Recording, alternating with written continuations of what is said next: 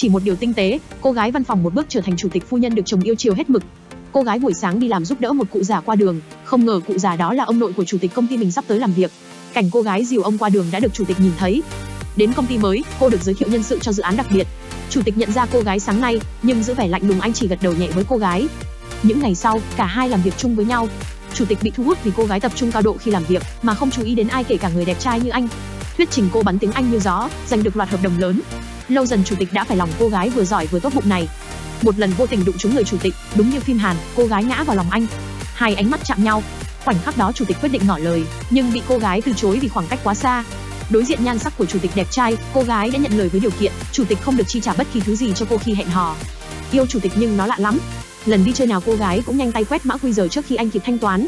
Đi cà phê cũng quét quy giờ, đi xem phim cũng quét quy giờ, đi mua sắm cũng quét quy giờ. Một hôm chủ tịch ép sát cô vào tường, cô tưởng anh định làm gì thì anh nói, rốt cuộc em làm cách nào mà mỗi lần đi chơi đều nhanh tay thanh toán trước anh vậy? Cô gái vụt chạy đi, rồi nói chỉ một app Momo em có thể quét được mọi quy giờ ngân hàng. Ngày ra mắt gia đình cô tại một nhà hàng, chủ tịch quyết mọi giá người trả tiền là anh. Anh gọi nhân viên đến tính tiền và đưa thẻ đen quyền lực ra. Xui cho chủ tịch hôm nay máy POS có vấn đề nên quán ngưng cả thẻ. Dứt lời nhân viên sâu ra một loạt mã quy giờ đủ các ngân hàng, kèm nụ cười mong chờ nhìn chủ tịch. Anh hơi đứng hình vì chỉ quen dùng thẻ. Thấy vậy, cô gái nhanh trí mở sẵn Momo đưa cho anh. Anh hỏi nhỏ nhưng trên này không có mã Momo nào cả. Cô gái từ từ giải thích với anh chỉ một app Momo quét được mọi quy giờ ngân hàng.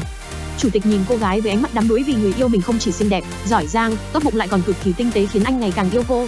Đúng là mây tầng nào thì gặp mây tầng đó, chủ tịch thì chỉ đi với người giỏi và tinh tế thôi các bạn ạ.